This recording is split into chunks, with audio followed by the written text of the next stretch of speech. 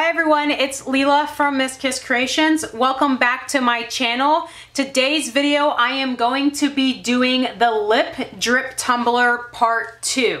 If you don't know already, I am participating in a collaboration with five other YouTube creators. We have received this custom decal from Taylor from Duncan Custom Airbrush. And the challenge was to create a tumbler using the Dawn dish soap method and adding this decal.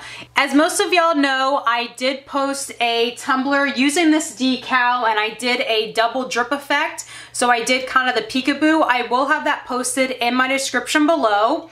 And now I'm going to show y'all the Dawn Power Wash method like you guys actually wanted. So my bad, that was my misunderstanding, but it works out for everybody because I get to create not only one, but two tumblers using both of these decals from Taylor from Duncan Custom Airbrush. And if you don't know, uh, it's not only Duncan Custom Airbrush, but it's also Flynn Sisters Boutique, Mr. Nola's Glitter, Sandy's Organized Chaos, and the Purple Stitch. We're all participating in this challenge and all of their videos or YouTube channels will be posted in my description below. So let's get started with this tumbler. So what you see on frame is going to be my 25 ounce barrel tumbler and I did kind of a peekaboo effect. So I did a glitter base and then I hydro dipped this using uh, Easy Marble paint.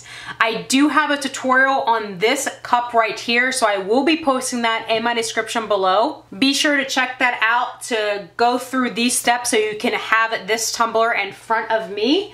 So what I'm going to be doing is, I know a lot of people, they like to do the power wash first and then they add the decals. Well, I'm going to do it kind of opposite. What I'm going to do is I'm going to be adding the decal on the tumbler and then I'm going to be adding the power wash. Now, of course, on a regular tumbler that's not already decorated, this step is so easy and it makes your power wash a lot simpler. Meaning, let's say I have this tumbler, I spray paint it, I put my decal on, and then I'll epoxy it.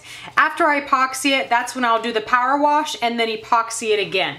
So it saves some time and it kind of makes it easier laying the decal on and then covering up that decal with the power wash. This tumbler tumbler is completely cured. The epoxy's hard, so I glittered it, I epoxied it, I did my Peekaboo Hydro Dip, and now I'm going to take my decal and then place it on my tumbler. Since this is a rounded surface, this might take me uh, a little longer to place on here. Um, I'm just going to kind of roll it on the tumbler just so I don't get any bubbles or creases on the decal. I've placed my decal on my tumbler. You can see it looks really nice here. And now for my next step, I'm just going to put a thin layer of epoxy on my tumbler. So this is a 25 ounce, so I'll probably use about 10 to 12 milliliters of epoxy. So that's about five to six mLs of part A and five to six mLs of part B. I'm going to fast forward through this part. If you do need assistance on how to epoxy a tumbler properly, I will be adding a list of beginner help tutorials for all my beginner crafters.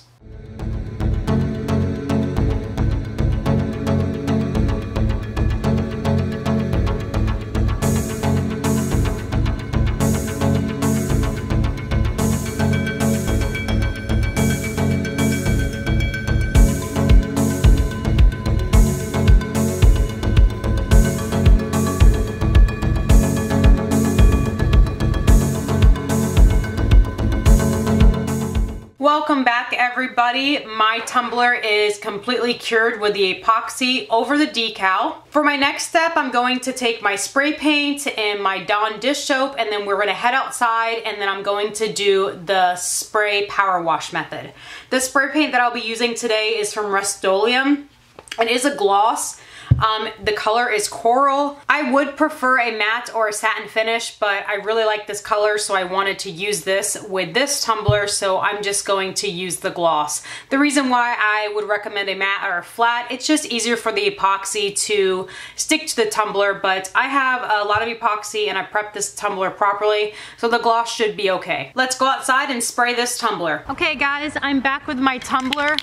And I have my spray paint. Make sure you have your spray paint, you have your Dawn Power Wash, and you have your hose ready to go. Those are the three things that you're going to be needing for this step. Before you spray your power wash on your tumbler, you can go ahead and give it a quick mist to make sure it does spray properly and just to get an idea of how it sprays. As most of y'all already know uh, how to do this process, you spray it with the power wash and then you spray paint it and then you're going to wipe it down with the water.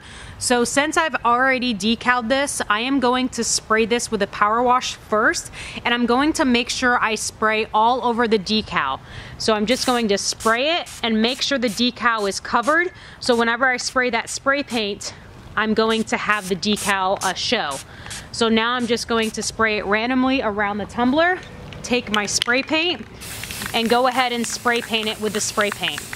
And I want a nice coat, especially since there's already a design on this tumbler.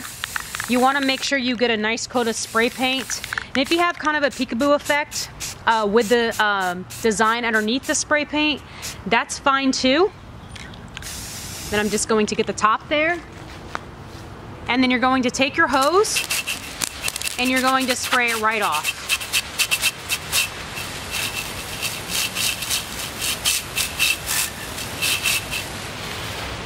And look, that is such a nice power wash spray. You could see I have some on the back, I got some on the bottom, all around the tumbler. It gives it a really fun effect. Now, if you are unhappy with this, what you can do is just go ahead and wipe down this tumbler, dry it off, re-spray it with the power wash, and then re-spray paint it. Another thing is you can see I got some spray paint on the tumbler lips. So you can see I got it a little bit over the decal. Whenever I go inside, what I'm going to do is just take 91% alcohol um, and just wipe that down. If that doesn't work, then you can use acetone and just lightly wipe that down because you don't want to wipe down that epoxy. You just wanted to uh, wipe it down with the acetone and that spray paint should come right up. I'm going to go ahead and head back inside to remove that paint. I'm back inside with my tumbler. I did use the acetone to remove some of that excess spray paint on top of the decal and I just wanted to show y'all in the light. This tumbler is so cute. I really love how this turned out. Again, my video for my Hydro Dip tumbler will be in my description below. So if you wanna know how I created this Peekaboo Hydro Dip tumbler, go ahead and check that video out first and then come back to this video to check this one out as well. And as you know, the next step for this tumbler is to epoxy it. So I would put about 20 to 25 milliliters of epoxy on this tumbler. Uh, I don't need a lot of epoxy. I'm just doing it just to seal in that uh, spray paint. The spray paint isn't really really thick. I already have about three coats of epoxy on here, so I just want it to be really thin. So I hope you enjoyed this video. I hope I was able to help you create something beautiful and inspire you with these decals. And if you like this video, please be sure to give it a thumbs up and don't forget to subscribe to my channel for more tumbler and craft videos. I'll see y'all next time.